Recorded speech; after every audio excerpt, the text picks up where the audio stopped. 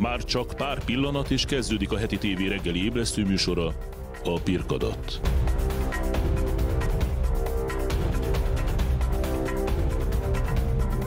Élőben a stúdióból jelentkezik Brajer Péter. A Pirkadat mai vendége új szakértővel bővült csapatunkról, Berényi András, Ukrajna szakértő. Szép jó reggelt Jó kívánok. reggelt kívánok! Ami ezt adás véget, elmondom önnek, hogy hol van. Ez egy közel-keleti stílussal működő televízió, egy zsidó televízió, tehát mit nem lehet így csinálni. Objektívnak kell lenni, nem szabad se felzsidózni, sem lezsidózni, nem szabad romázni, nem szabad buzizni, őszintének lehet lenni, és a világon minden. Ha viszont nem, akkor mond valamit, és a mondat közepén megszólal egy ilyen érdekes hang, én itt megnyomok egy gombot, és pak, katapultált. És akkor azt mondom, hogy köszönöm, hogy itt lehetett. És akkor térjünk a témánkhoz. És én ön tudom katapultálni valamilyen módon, hogyha ön mond Persze, olyan? mondjuk, akkor szuper. mondjuk leönt, meghúzza a hajamat, tehát ettől közel-keleti, és szólásszabadság van. Azt Szuper. mond, amit akar, addig, amíg az én agyam cenzúrája azt engedi és ha közbeszólok, nem azért szólok közben, mert el akarok venni az idejéből, hanem azért, mert úgy nagyjából tudom, hogy az a sok millió néző, aki minket néz, mire kíváncsi. Hol született? Budapesten. Mikor döntött el, hogy Ukrajna szakértő lesz?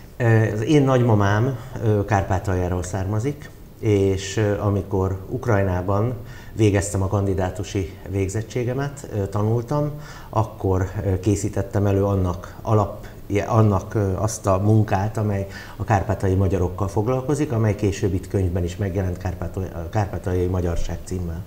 Tudja hogy azok a zsidók, akik finn munkácsról valók, azok sokkal jobban ragaszkodnak Magyarországhoz, mint például az ilyen jöttment budapesti zsidók, mint én vagyok ez, ez nekik a szívük csücske akkor is, hogyha például Izraelbe, vagy Amerikába, vagy bárhol élnek. Ez ahhoz hasonló lehet valóban, mint a, az összes határon túl élő honfitársaink, fogalmazzunk így, vagy fogalmazhatunk így, nemzettársaink, ők abszolút úgy ítélik meg, hogy a magyarság összetartó ereje nagyon fontos, és számukra egy örök lét. Bár hozzáteszem, hogy Kárpátalján egyre inkább az asszimilálódás az, ami jellemző van. Ez a veszély minden diaszporát érint.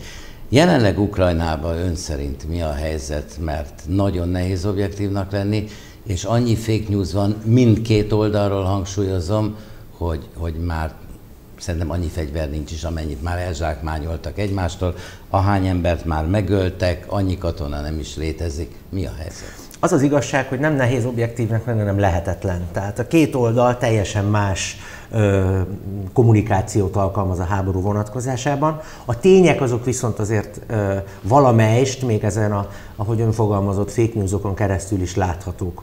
Tehát az, hogy egyébként a harc tér, tehát maga a, a harci terület csökken, az az oroszoknak kedvez nyilvánvalóan, hiszen a hátország ellátási hálója, illetve ellátási folyosói azok sokkal jobban megtarthatóak, hogyha kisebb a front, mint korábban. Viszont azt is hozzá kell tenni, hogy a, a, a, sosem számítottak volna az oroszok arra, hogy ekkora összefogó erő lesz az ukránokban, és ennyi katona indul az oroszok ellen, és ilyen határozott védelmi stratégiával tudnak Ez azért van, mert annyira hazafiak vagy jól fizetett zsoldosok? Mindkettő. Mindkettő. Egy friss demokráciában még nagyon jellemző, és Ukrajna az még, még messze nem demokrácia, de friss, ez az őszinte megjegyzés, ez nagyon fontos. Igen, volt. igen, de friss és az ilyen friss államokban, vagy friss idézőjeles demokráciákban nagyon jellemző az, hogy még mozgósíthatóbbak az emberek, még könnyebben rávehetőek. Sok olyannal találkoztam ismerősi körben, akik például Magyarországon élő ukránok voltak, és hazamentek harcolni. Tehát pont a fordítottja, nyilván rengetegen menekülnek el, jelentősen nagyobb a számuk, most már ugye több milliós nagyságrendről beszélhetünk, de háborúzni sok esetben még, még, még voltak olyan érzelműek, akik haza is tértek. Mi lehet, aki ez, láttam, hogy az üveggömbét nem hozta, de nagyon sok katonai szakértővel beszélek, és egyre jobban az az érzésem, hogy ők sem tudnak többet, mint az egyszerű halandó ember. Már az sem világos, hogy kinek mi az érdeke. Feltételezem Ukrajnának az az érdeke, hogy életben maradjanak, és Oroszország ne tudja leszalámizni őket geográfiailag, és minél kevesebb, minél kisebb legyen az anyagi, illetve az ember életben való veszteség.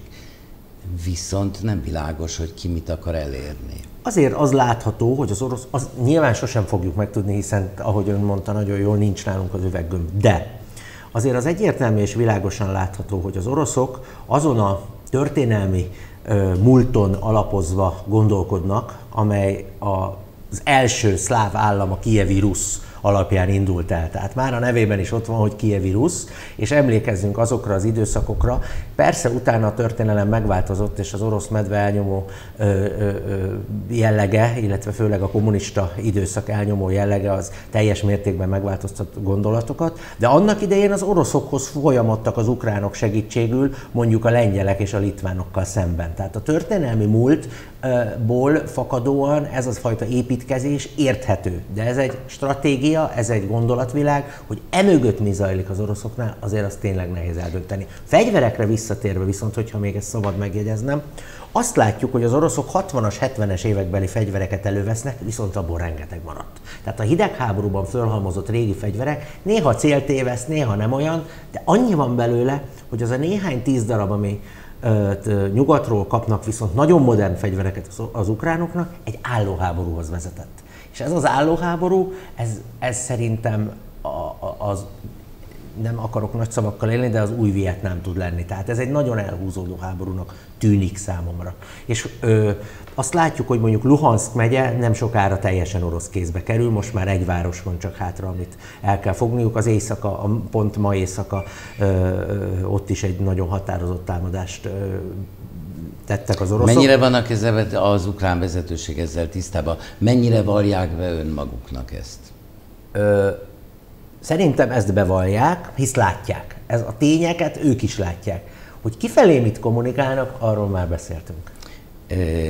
A NATO bővítése, a NATO, új NATO tagállamok orosz határon való létezése mennyibe befolyásolhatja az orosz hadviselésnek a gondolatvilágát? Azt hiszem, hogy az orosz hadviselés most most alkalmatlan arra, hogy ennél a háború stratégiánál mást alkalmazzon. Tehát szerintem ők most nagyon koncentráltak arra, hogy az ukrán részt fent tudják tartani, és mondjuk a Luhansk teljes elfoglalása után megpróbálják stabilizálni ezt a helyzetet. Én, bár ennek persze teljesen ellentmond, hogy Kievet megint támadás érte. Tehát, de, hogy megint kinyitották egy kicsit a rést, ami ugye korábban nehézséget jelentett számukra. Igen, viszont a gazdasági világválság az fordítva is elsülhet. Napjainkban az oroszokkal szembeni szankciók talán nehezebbek, mint az Iránnal szembeni szankciók. Viszont azonnal talált új partnereket, akik ezt kihasználják, tehát gazdaságilag nem is, nincsenek is annyira rosszul, mint azt mi feltételeztük, Viszont ez majdnem egy öngolnak tűnik nekem. Nekem is annak tűnik, tehát hogyha a gazdasági szempontokat nézzük, akkor Oroszország pillanatokon belül megtalálta azokat az országokat, akin keresztül meg tudja oldani a ö, stratégiai fontosságú tényei. Most nem a világmárkákról beszélek, meg a, a, a kivonuló amerikai Azok majd gyorsan visszavonulnak. Azok, azok majd úgyis visszavonulnak pénzért, tehát azok az teljesen más. Viszont megtalált ezeket a partnereket. Cserébe Európa az infláció elszaladt, Európában, ahogy mondta nagyminiszter úr tegnap, a friss gazdasági miniszterünk, hogy öveket becsatolni jön a válság. Értem. Viszont van, amit még nem értek.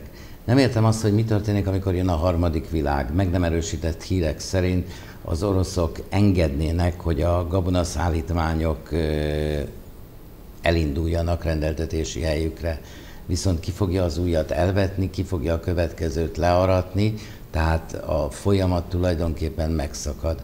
És abban a pillanatban, hogy az éhező harmadik világ, ami különben is éppen e, arra vár, hogy útra kelhessen, egy komoly problémát okozna nem csak Európának, hanem tulajdonképpen Oroszországnak is. Egyértelmű. Viszont most úgy tűnik, hogy az ukránok stratégiája az jelentősen koncentrálódott arra, hogy valamilyen utat találjanak ennek a gabonának, és pont a most éjszakai harcok azok úgy tűnnek, hogy az ukránok oldalára vetették át, hogy valamilyen módon kijussanak a tengerhez, és meg tudják ezt a gabonát indítani. Hiszen nálunk mondjuk, ha felénk indítjuk a gabonát, és azt vesszük alapul, nem tudunk többet behozni. Tehát értem, hogy nagyon fontos a... E... De a gabona alkalmatlan arra, hogy szárazföldön szállítsák. A gabona szállítás lényege az tankerhajókon, azt én értem, de ugye nyilatkozott a Szijjártó miniszter úr, hogy Magyarország irányába egy gabona folyosót kell biztosítani. Nem lehet többet áthozni, mert át kell rakodni, hiszen más a más nyomtáv. nyomtáv. Olyan egyszerű ez, mint az egykarú ember. Ez a, ez a nyomtáv dolog, ez akadályozza az oroszokat is, akadályozza az ukránokat is. Akkor mégis miért? Hát ez ott maradt, és nem módosították. Értem. Nagyon sokba került volna. É akkor még azt mondja meg nekem, hogy az ukrán vezetés megdöbbentően fiatalokból áll. Aránylag ismeretlen emberekből, de azért ott is vannak oligarchák, ott is van fekete tőke, tehát nem minden kóser, nem minden hát az, aminek minden. tűnik.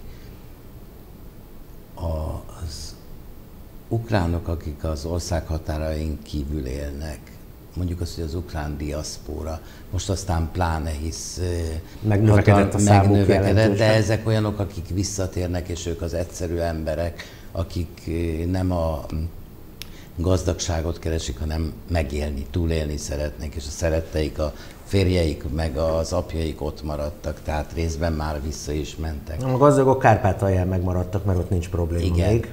még. Úgyhogy Bízunk benne, hogy ez így is marad. Én is ebben reménykedek, ez a legfontosabb nekünk. Meddig lesz fontos Ukrajna a világnak? Hisz annak idején minket is itt hagytak, az amerikaiak a sahot is ott hagyták, tehát azért ez nem, nem Kánaán a világ. Nem Kánaán a világ, láttuk, hogy láttunk már ilyenre példát. Az elhúzódó háború biztos, hogy nem az ukránoknak fog kedvezni. Erre ez az egyszerű válasz. Tehát az elhúzódó háború egyszer csak, egyszer csak, és egyébként most sem annyira fontos, hogy néhány darab rakétán kívül a nehéz fegyverekért könyörög Ukrajna, nem kapja Viszont semmi biztosíték nincs arra, hogyha az ultramodern fegyvereket megkapja Ukrajna, három perc múlva az oroszok nem szerzik meg. Nulla és... az esély. Nulla, nulla arra az esély, hogy ez a háború ne húzódjon el megítélésem szerint, és az ukránoknak nem fog kedvezni. Kedves nézőim, az elmúlt szűk negyed órában dr. Berényi András Ukrajna szakértő, aki tanulmányait is a térségben végezte, ismeri a nyelvüket, ismeri a gondolataikat, így aztán többször fogjuk hívni, amennyibe jön hozzánk, hogy ecsetelje nekünk vélhetően objektívan, mint az, aki a nyelvben nincs otthon, hisz a többszöri fordításokból lesz a végén a Ganges partján a 7. kerületi körfolyósos erkéről szó. Köszönöm, hogy itt Köszönöm volt velünk. Szépen. Előzetesek és folytatjuk kultúrával következik a Kocsis kiadó. Kocsis András Sándor az elmúlt könyvhétről és az új megjelenésekről, na meg a brandről, a képekről, a szobrairól és a mindennapokról fog mesélni nekünk. Tartsanak velünk!